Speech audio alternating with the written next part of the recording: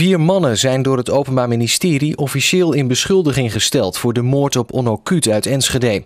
Het zijn leden van de Tattoo Killers, een moordbende waarvan de leden Chinese tatoeages op hun rug hebben. De vier mannen zaten al vast en blijven dat voorlopig ook, volgens een advocaat. Ze worden ervan verdacht dat ze Kut met een mes hebben gestoken en het lichaam hebben begraven in de duinen bij Hoek van Holland.